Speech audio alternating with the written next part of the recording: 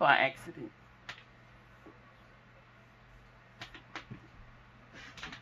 Car accident, the door hit me right there. I was in the back seat. Someone was driving.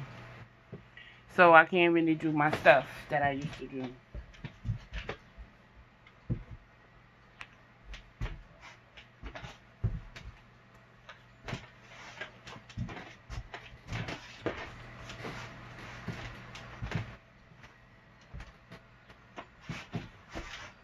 But I could do a little bit.